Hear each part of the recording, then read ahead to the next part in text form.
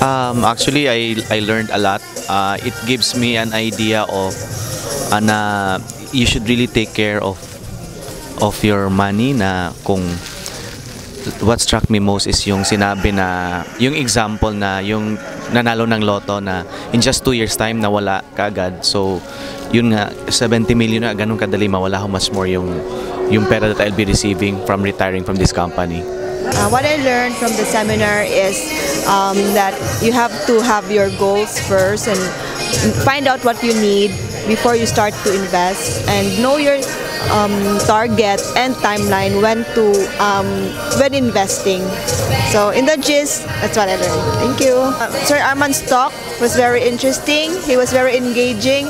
Um, it was fun, light, but at the same time very informative.